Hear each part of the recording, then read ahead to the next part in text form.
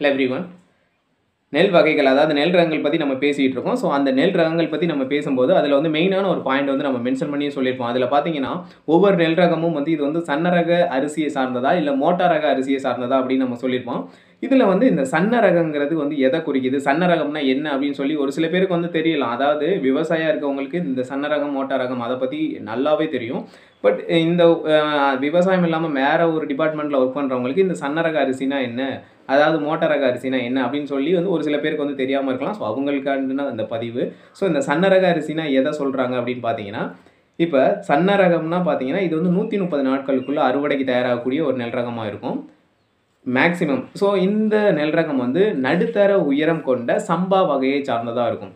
இது வந்து சீரக சம்பா அரிசி அதோடைய சாதத்தை பார்த்துருப்பீங்கல்ல. ஸோ அந்த சீரக சம்பா சாதம் மாதிரியே இதோடைய சாதமும் ரொம்ப மிருதுவாக அதாவது ரொம்ப உரு அதாவது உதிரியாக இருக்கும். இதோடைய சாதமே வந்து மி மிருதுவாகவும் அதுபோல் மிகுந்த வாச மிதமான வாசனை கொண்டதாகவும்.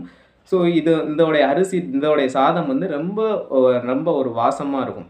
அதுபோல் பார்த்தீங்கன்னா இதோடைய சாதம் ரொம்ப உதிரியாக சீரக சம்பா மாதிரியே இருக்கும். ஸோ இது எல்லாமே வந்து சன்ன ரகம் அப்படின்னு சொல்லுவாங்க. இந்த சன்னரகத்தோட இந்த சன்னரகம் வந்து எவ்வளோ மகசூல் கிடைக்கும் அப்படின்னு பார்த்தீங்கன்னா பெர் ஹெக்டருக்கு ஐயாயிரத்தி எண்ணூற்றி ஐம்பது கிலோ அளவுக்கு மகசூல் கிடைக்கும். ஒரு ஹெக்டருக்கு வந்து அந்தளவுக்கு மகசூல் கிடைக்கக்கூடிய ஒரு ரகமாகும். இந்த சன்னரக அரிசின்னு சொல்கிறோம்ல ஸோ அதை பற்றின அந்த சன்னரக அரிசி வந்து அந்த அளவுக்கு மகசூலும் கிடைக்கும்.